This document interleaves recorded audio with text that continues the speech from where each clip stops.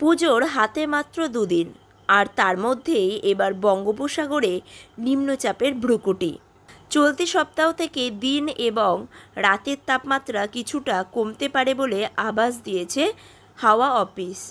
বৃহস্পতিবার থেকে দক্ষিণবঙ্গে তাপমাত্রা কিছুটা কমতে পারে, বাতাসে জলীয় বাষ্পের পরিমাণও কিছুটা কমবে।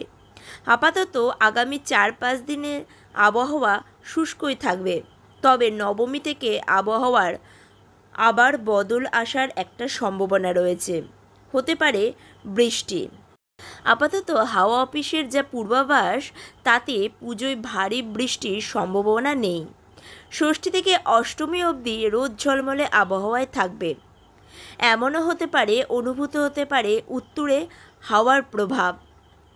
তেমনটা হলে মনোরম আবহাওয়াতেই কাটবে পুজো। এবার কার্তিক মাসে পুজো।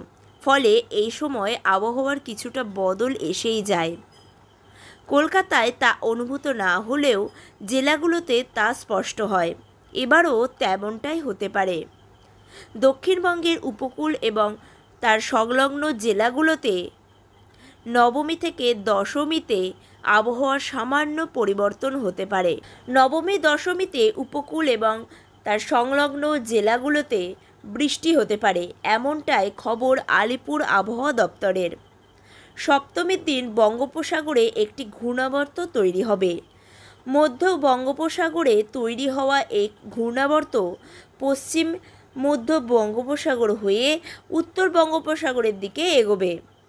শক্তিশালী হয়ে ঘূর্ণাবর্ত নিম্নচাপে পরিণত হতে পারে। এই নিম্নচাপ অন্ধ্র এবং ওড়িশা উপকূলের দিকে যাওয়ার সম্ভাবনা। আর নিম্নচাপের প্রভাবে নবমী এবং দশমীতে উপকূল এবং তার সংলগ্ন জেলাগুলিতে বৃষ্টির সম্ভাবনা রয়েছে।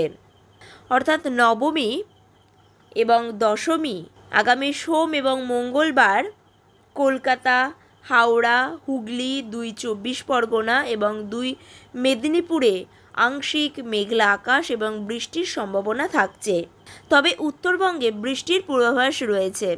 যদিও আগামী আটচল্লিশ ঘণ্টার পর থেকে সেই বৃষ্টির পরিমাণ অনেকটাই কমবে। দার্জিলিং, কালিম্পংয়ে হালকা বৃষ্টির সম্ভাবনা থাকছে। তো এই ছিল আগামী কয়েকদিনে পুজোর মধ্যে আবহাওয়ার খবর। ভিডিওটি সকলের মাঝে শেয়ার করুন, ভালো লাগলে লাইক করবেন। আর আপনি যদি চ্যানেলে নতুন এসে থাকেন, তাহলে চ্যানেলটিকে সাবস্ক্রাইব করে রাখুন। ধন্যবাদ।